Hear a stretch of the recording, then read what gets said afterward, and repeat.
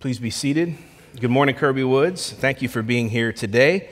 Uh, last week, we began a new series called The Hundred Year War, highlighting the importance of family and a 100 year legacy that honors Christ. The purpose of this series is twofold. It's first a guide for how to fortify yourselves against the enemy, how to strengthen our homes as we live as exiles in this world. And secondly, I see it as a guide as how to actually uh, nurse our weak and sick culture back to health, perhaps, if God would be gracious enough to see fit to revive our nation. Uh, if there were significant changes to one institution that he deeply cares about that could affect other things, I think that it would be the family. Many of our troubles arise from family breakdown. Perhaps the, the healing source of this nation would be to begin where the deepest problems are found. This question, fundamentally, in this series is what could be accomplished if we engaged in a 100 year war of faithfulness to God in our homes and all of our great grandchildren knew and served Jesus in 2123? Last week, I asked you the question Will you enlist? My hope is that because you're here today, you said yes. Uh, you could just be a creature of habit, but I hope that you said yes. We looked at a long term generational approach to life and legacy last week, starting uh, the beginning of more specific topics today, more practical messages that get into the nitty gritty of that. One of the great challenges in beginning any new multifaceted endeavor is knowing where to start. It's kind of easy to see the end picture of what you want to accomplish. For example, Let's say you went out, like a lot of other people, and saw Top Gun Maverick this last year. And uh, it moved you so deeply that you thought, that's what I want to do. I want to be Tom Cruise. I want to be in the Air Force. I want to do barrel rolls and shoot missiles and uh, pull G forces that make my face almost fall off. That's what I want to do more than anything. But let's say you wanted to do that. Where, where would you, what would you do the next day? What would you do to start that process? What's your first, second, third practical step to make that vision happen? Well, in a similar way, that's what I gave you last week was the big picture, the future vision of your family tree serving Christ in 2123. We talked about being an oak of righteousness last week that stands strong and tall as the world may crumble around it. The, the tree stands, but how does a mighty oak come to be? You don't just clap your hands and uh, have a hundred foot tall oak tree. In fact, if you want a fun experiment, go find an acorn and just clap at it and say, oak tree, and see what happens. Nothing's going to happen, I promise you. See, we, we love the idea of a culture where Christianity is flourishing, where churches are healthy, where one generation commends the works of God to another, like we said in Psalm 145 last week. However, those things are the fruit of the righteous tree. They are not the root. A cough and a runny nose are, are the symptoms, the fruits of a virus in you, but you don't address the problem with Kleenexes and cough drops. The fruits of our world are evident. And I mentioned them in the trailer for this series the divorce, gender confusion, depression, anxiety, anger due to fatherlessness, falling birth rates, feelings of meaninglessness. These are all fruits to be addressed. But what I would like to do today is to submit to you that the root of the generational family tree, the root of Christian legacy that will produce fruit between now and 2123 is the union from which the entire tree is created, and that is marriage. The root of any tree spanning generations is covenant marriage. Everything else flows from and will be deeply affected by the strength of this union between a godly man and woman. And I want you to see today marriage as not just one of many important aspects of a healthy family for generations, but as the primary root from which all future fruit will grow. So before we look at God's word, I'd invite you to pray with me. Lord, we invite your divine help to open up these scripture passages today. and make them apply directly to our hearts where we need them most. God, I confess in my voice I have no powers. I can't make anything happen by just declaring it. If you don't move, Lord, uh, nothing will happen. So, Father, we're just praying uh, that you would use me as a vessel today and that this would be your time. That, God, where rebukes are necessary, we would hear them, uh, and where encouragements are needed, we would receive those as well. We pray that in Jesus' name. Amen. So, I'd invite you to turn. First passage I'm going to be in is Genesis 24. We've got a few minutes before I'll get there, but go ahead and pre turn to Genesis 24 1. This is a more topical series than I'm used to doing. I told you that, so don't be alarmed when we're jumping around the different passages. That's on purpose.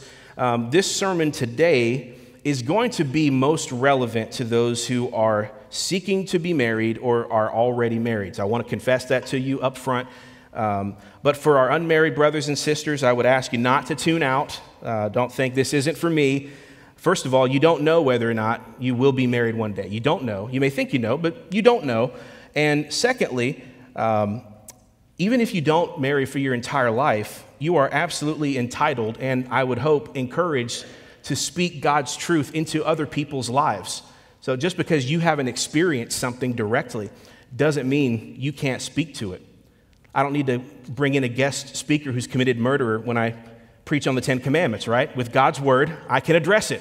So can you. You don't have to have experienced everything in order to speak truth to it. So our culture needs you to know these truths.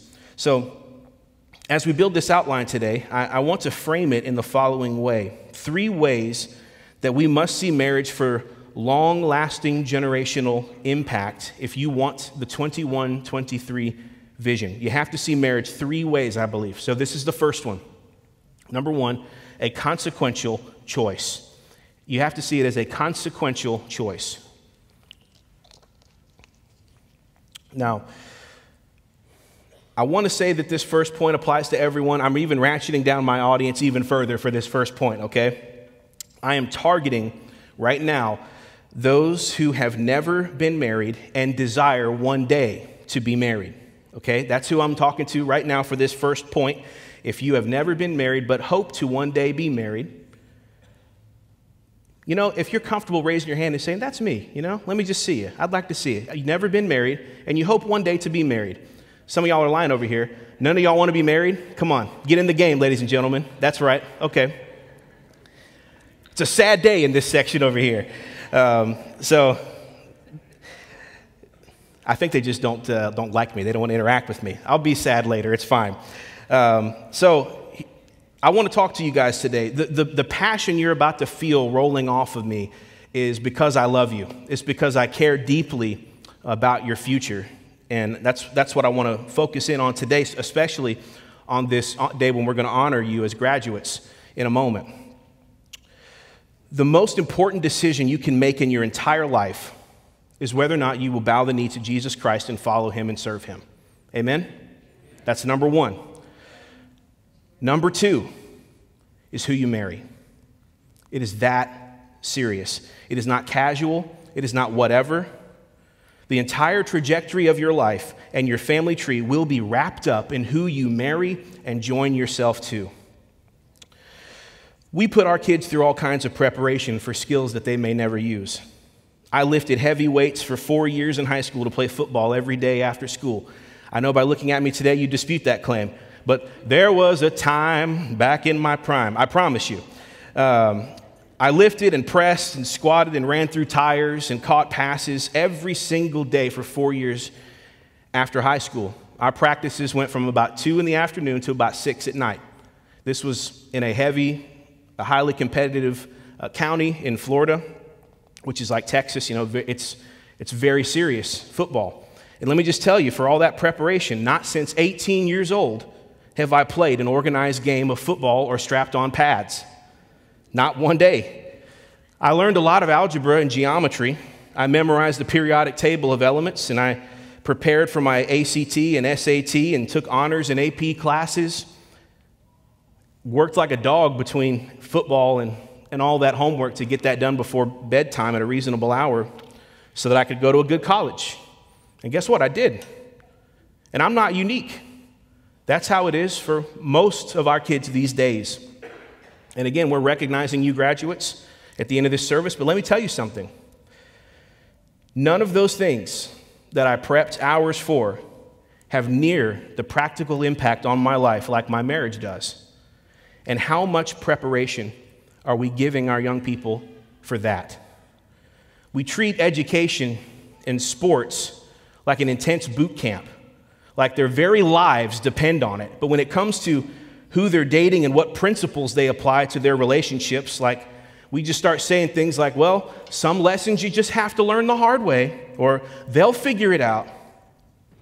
No, you didn't say that when it was time to prep for the ACT, did you? We need to communicate that these decisions, like who you're dating, are life and death because they are. They are. Parents, you need to be active in your sons and daughters' lives, particularly in how they view relationships and dating. Tell them, train them, talk about it as much or more as you talk about getting into college. It's more important than their education. Adults, amen? It is. Listen to people who done it. Listen. Look with me now, Genesis 24. I want to see this passage. Um, this is how serious Abraham viewed marriage for his son, Isaac. Abraham is old in this part of the story. Actually, Abraham's old in every part of the Bible. Um, Isaac is at the age where he's about to take a wife, and Abraham is looking for that wife for him. And so he's probably not able, age wise, to go and do this, this conquest, this travel. Um, and yes, and by the way, in these days, marriages were more arranged than they are today. So just want you to know that. But still, this is true. Nothing changes in this story. So Listen to the passion in Abraham's voice. Now, Abraham was old, well advanced in years, and the Lord had blessed Abraham in all things. And Abraham said to his servant, the oldest of his household, who had charge of all he had, Put your hand under my thigh, that I may make you swear by the Lord, the God of heaven and the God of earth, that you will not take a wife for my son from the daughters of the Canaanites, among whom I dwell, but will go to my country and to my kindred and take a wife for my son Isaac. Now, we know from the Bible this woman would be Rebecca. It's a beautiful story how this works out. She comes out and serves them, waters the camels, and does all that. You can read that story, it is definitely worth it. But what Abraham goes to his top servant that he's going to send out on this mission, this quest, and he makes him pledge, Swear to me, swear to me that you will not take a Canaanite wife for my son. Do not let him marry a Canaanite woman. What's this about? Simply put, Canaanites worshiped Baal and Asherah. They sacrificed their kids to Molech. They were pagans who had sex in temples for worship. Abraham is old by the time he grows up, so he, he takes his servant and says, Listen, swear to me that you will not let this happen. This is a deep concern for Abraham. And why would it be a deep concern? Because it would be over before it started. God's plan to call out a people to a great land, a great name, a great nation, to bless the earth through Abraham's seed would be over. Isaac was the son of promise to Sarah. To join to a Canaanite would guarantee Isaac's heart would be, at best, conflicted and turned to worship other gods. It would guarantee that their children would not know or worship Yahweh in the same way Abraham knew and worshiped Yahweh. The godly legacy would be left to a roll of the dice, and Abraham was willing to fight for it. I'm about to say something now that'll offend because I've seen this in every church I've ever been to. To the Christian youth, college, young adults, if you date and marry an unbeliever, you have no idea the pain and the hardship you just entered into. Stop making excuses. God has spoken on this. You are not to date or marry one who does not know Christ as Savior. Parents, we need to stop being afraid of our kids and speak up. You need to summon whatever power Abraham had in this moment. Do not take a wife from the Canaanites. Marry from our people, from those who love Jesus, from those who will agree with you on the purpose of life, from those who will share your priorities, who will worship alongside you in church, who will pray with you and for you, who will teach your children the truth when they are alone with them in the room and in the car, and when they see something on TV that's confusing and they ask about it, that you trust implicitly what they're going to say to them. Do not be unequally yoked.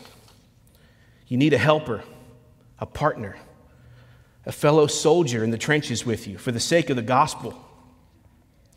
Someone who can love you because they know the love of Christ. Someone who can forgive you because they know what it is to be forgiven by Christ. And someone who can sanctify you because they themselves are filled with the Holy Spirit. I pray your parents tell you that. I pray they tell you that. But if they don't, this is my job. Do not take an unbelieving wife from the Canaanites. The choice is the most consequential you will make outside of your salvation. Nothing else we do today is going to make any sense if you don't start there. That's how we make a generational impact for Christ. Number one, we must see marriage as an extremely consequential choice. Secondly, we must see marriage as, number two, a consecrated covenant. A consecrated covenant. We're all still here. I'd like to begin this section by looking at the original marriage in Genesis 1:23 if you, excuse me, 126, if you'd like to go ahead and turn there. Um, when we say covenant, we just mean an agreement between two parties. That's what a covenant is. But let me tell you something that I say in, in premarital counseling that something that makes a marriage covenant different from a business contract. Maybe you've wondered what this is. If you, if you contract somebody to do business at your house, let's say they're going to install some new floors at your house and both parties unanimously say, you know what, neither one of us really want this work to be done anymore. We haven't paid you yet. We don't want the work. And he says, well, turns out I don't want to do the work. Well, what you can do is, is tear the contract up, shake hands, and go your separate ways, and it's all good. That's a contract. When we look at marriage, both parties enter into an agreement. Let's say one day you're sipping your coffee at breakfast time and you unanimously, right at the same time, in unison, look up at each other and you say, I don't want to be married to you anymore.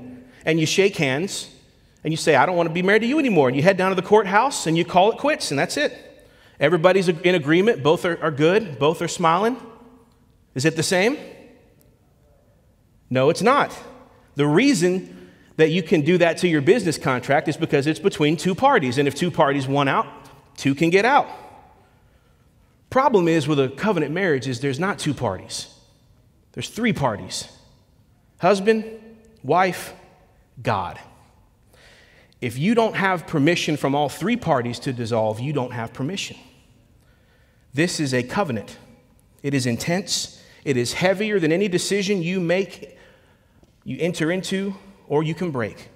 It is a holy union by its very definition. It is consecrated. A wedding ceremony ought to be serious stuff. So let's look at the first union. God made man and woman. It was assumed that they were married, they were the only two people on the face of the earth. And I want to show you briefly what marriage does, what it is, and what it pictures. Little three subpoints for you what it does, what it is, and what it pictures. First, we see this God said, Let us make man in our image, after our likeness, and let them have dominion over the fish of the sea and over the birds of the heavens, over the livestock and over all the earth and every creeping thing that creeps on the earth. So God created man in his own image. In the image of God, he created him, male and female, he created them.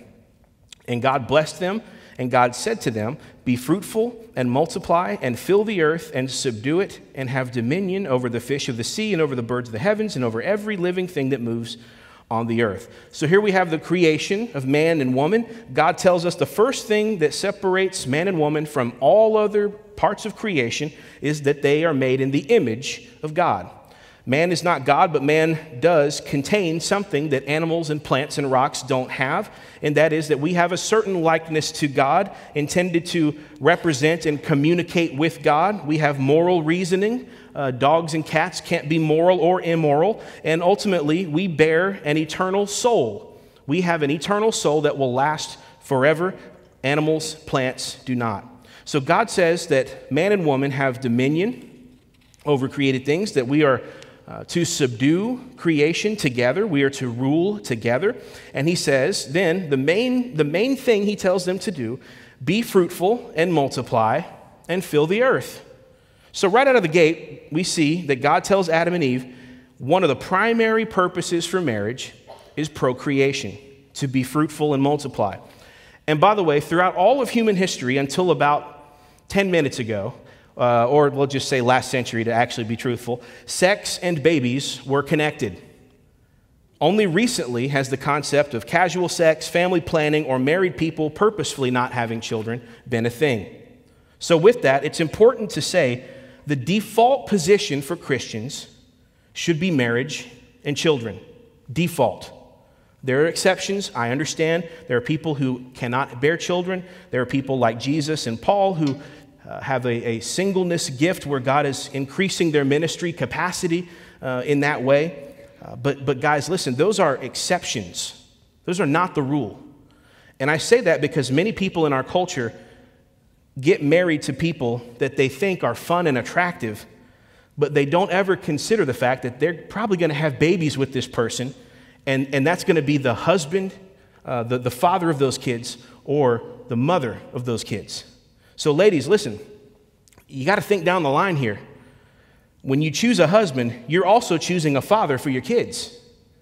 Men, when you choose a wife, you're choosing a mother for your kids. That's why this is a covenant. It's not casually broken because it's not just about you. The Bible presupposes married people will bear children and that this covenant is a protection to them as well. Later in Genesis 2, the story is told again in detail, and Eve is made from the side of Adam, and then the commentary uh, says over the top, the narrator says in Genesis 2:24, he says, "Therefore a man shall leave his father and mother and hold fast to his wife, and they shall become one flesh." So, we've said what a marriage covenant does. It's a partnership to fill the earth and subdue it and have dominion. But now we see what it is. It's a union of two people and the creation of a new family unit. Here's another thing I like to tell people in premarital counseling. When you get married, you're not joining a new family, you're making a new family. While it is true, all the, all the in laws just raised an eyebrow at me. Hang on. While it is true, you do marry into your spouse's family, and that is serious enough to ask some good questions about it. While that is true, you do marry into their family. At the end of the day, you're not so much joining their family as you are making something new. You leave your father and mother behind, and you create a new family unit now that is to take precedence above what you left behind. You've left your father and mother's family. You are now one flesh with your spouse. Two become one in a way that I can only say is spiritual. You're a team, you, you exist for each other, you help each other grow. You are to be singularly minded with priorities that are on the same page. And so that's, that's what it does and that's what it is. Lastly, lastly, I want to show you what it pictures. Marriage itself is perhaps the strongest biblical metaphor for the gospel that we have. You see, you don't you don't have the right to do marriage your way because it's intended to be a teaching device to teach very specific things. Ephesians 5:22 says this, wives submit to your own husbands as to the Lord, for the husband is the head of the wife, even as Christ is head of the church, his body, and is himself its savior. Now as the church submits to Christ, so also wives should submit in everything to their husbands. Husbands, love your wives as Christ loved the church and gave himself up for her that he might sanctify her. So the metaphor is clear. Wives are to picture the church, husbands are to picture Christ. Another goal we see from marriage in this text is actually similar to salvation. One of the goals of marriage is actually sanctification. You may have heard it said the primary goal of marriage is not to be happy, it's to be holy. That's where this comes from.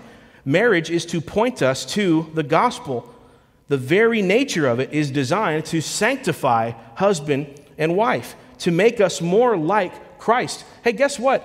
you're not the same. Uh, if you have a man and a woman together, you're not the same. Things are hard. Men and women don't think alike, we don't act alike. Even if you married a spouse that has a lot in common with you, there's still challenges that you have to work through living together in that space over and over again with someone who is not like you at all. And you know what that is? It's sanctifying.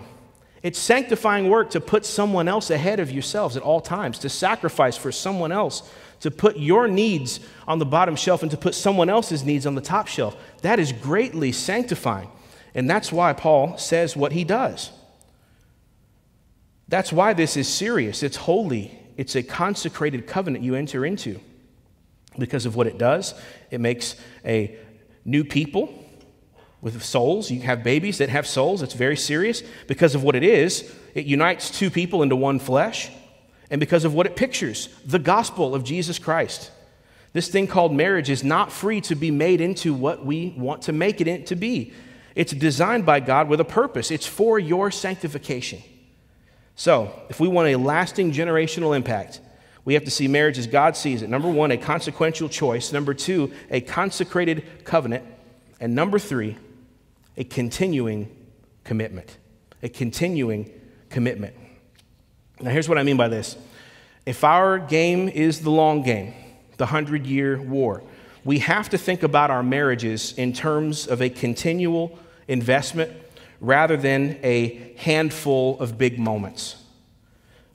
The goal is to love your spouse, not only to love them, but to like them your whole life, to stay married, to stay faithful to one another, to have a life full of laughter and smiling and joy at holiday events and joy at shared meals together, to have a fruitful, uh, hang on to your hats, sex life that goes beyond the first decade of your marriage, to fulfill each other for your lives, to see each other not as the old battle axe, the old ball and chain, but to preserve that affection that you had on your wedding day throughout your life and to weather changing seasons together with one another. Remember what we just read in Ephesians 5. Paul commands husbands, love your wives, cherish her. Man, I'm speaking of myself too. That's not just for the wedding day, that's for every day. That's a lifelong commitment to love one another, to give everything to her, to put all of your energy and strength and sexuality and joy, the best of who you are, to invest it in one place, not to scatter your strength to the four winds for any and all. I'm going to read from Proverbs 5:15 now. You're welcome to turn there. Proverbs 5 and 7 are two of the strongest chapters in the Bible warning against adultery. And thus, to give all your strength and all your efforts in your own marriage, to invest in your own home, to give your best to your spouse rather than fall for the trap of the adulteress. Fair warning, this is a, uh, one of the more sexual passages in the Bible, all right? I just don't want any, any shrieks when we get there, okay? Uh, but it is extremely relevant to what we're talking about. Proverbs 5:15 and on. Drink water from your own cistern, flowing water from your own well. Should your springs be scattered abroad, streams of water in the streets?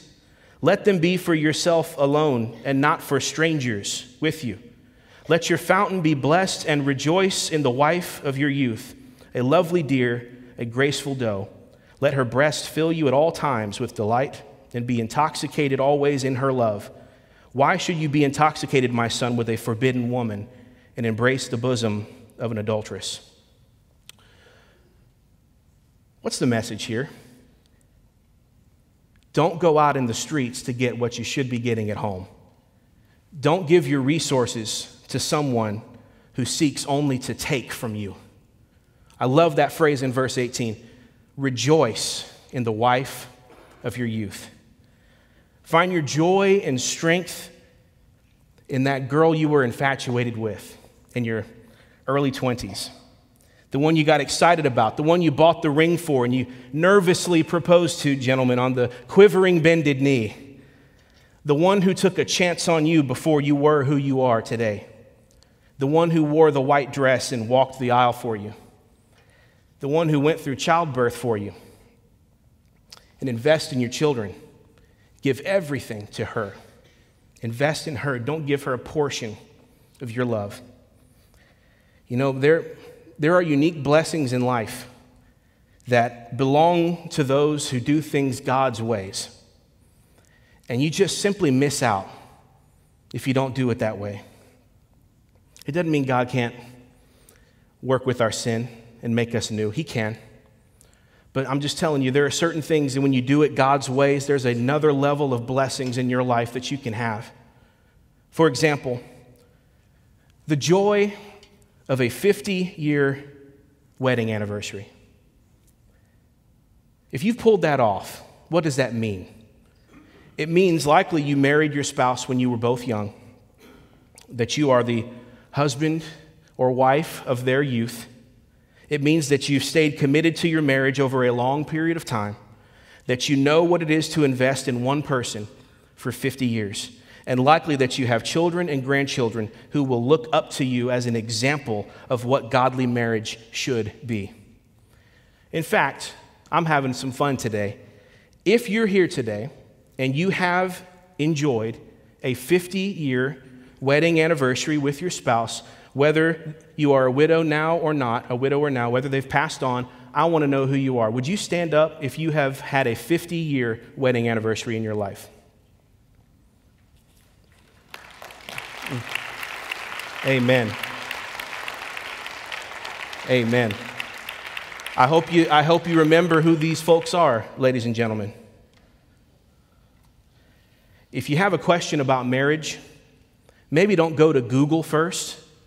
Maybe go to one of these people and ask them what an incredible legacy to leave behind for their kids and grandkids a testimony about covenant keeping, faithful love. Church, listen. We have got to get back to that mentality. Because the truth is, we are seeing less and less of that, not more and more of that. Divorce has become so common and casual. I'm afraid there's going to be a day in my preaching life where I can't even do that exercise anymore. We have to have a radical commitment to invest in our marriages. I know nobody likes to talk about divorce because it's so commonplace. And listen, that's exactly why we need to talk about it. When we talk about the hundred year war, the, the oaks of righteousness that stand tall in 2123, it's important to say divorce will set you back in that endeavor. It's important to say uh, it, it snaps a branch from the tree that God is building in your life. And listen, I understand, again, I, I need to say this.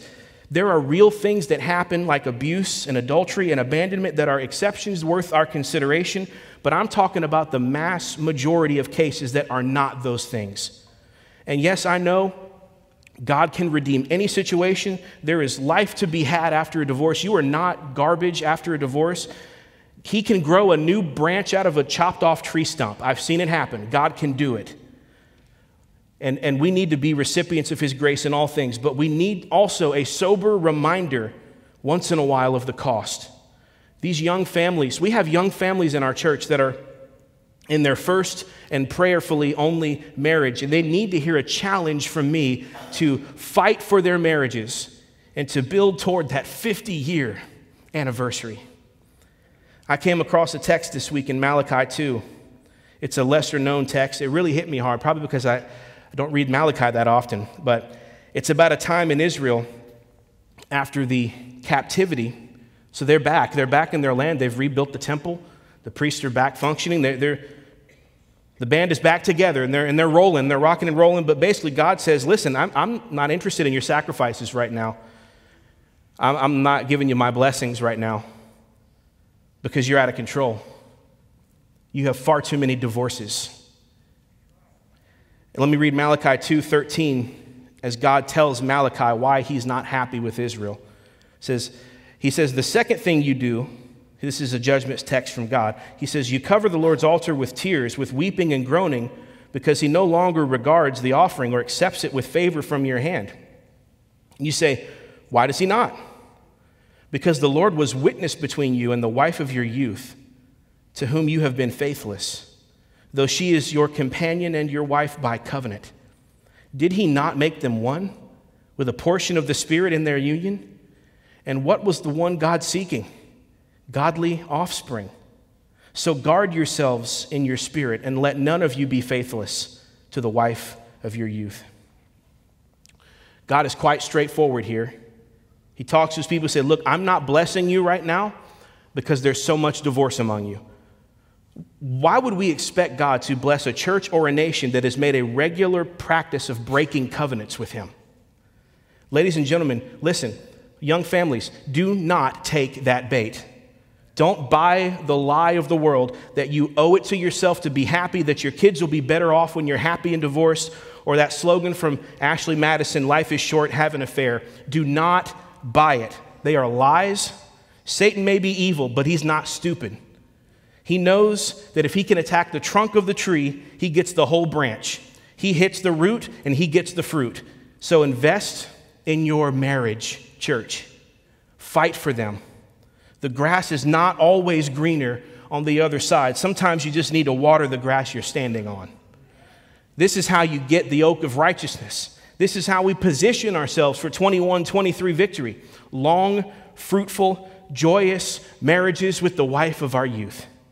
Like I said, you may have already crossed that line. It doesn't mean God is done with you. You might have to plant your flag in the ground today and say, What's done is done. The milk is spilled. The cat's out of the bag, but I can walk forward with the Lord today. I can't undo the past, but I can walk forward with the Spirit of God today and tomorrow. That may need to be what you do. And I can tell my children not to make the same mistakes that I made. Maybe that's why God taught you that lesson. But this is the path forward before we talk about raising godly children, which we're going to do in the coming weeks, before we talk about being a great mom, a great dad, protecting our kids from the world, before we go there, we need to get marriage right. We need to get marriage right. It is the root before the fruit. Your marriage sets the tone for your children's lives and honestly, for their future marriages they will either consciously or subconsciously repeat what they've seen in you. I am shocked every day in, my, in myself of how much I am my mom and dad on autopilot. I'm shocked. And, and, and all of you know exactly what I'm talking about. Those moments in life where you're like, what do I do in this situation? And you don't know. You think, well, what did my parents do? And that's where you go. So, parents, you are that for someone else. So we have to take this seriously. It is a consequential choice, it is a consecrated covenant, and it requires a continuing commitment. When you want a fruit tree to grow, you don't water the fruit at the end of the branches. You don't pour water on flowers to make the tree grow. No, you pour water on the roots, and the rest of the tree will grow.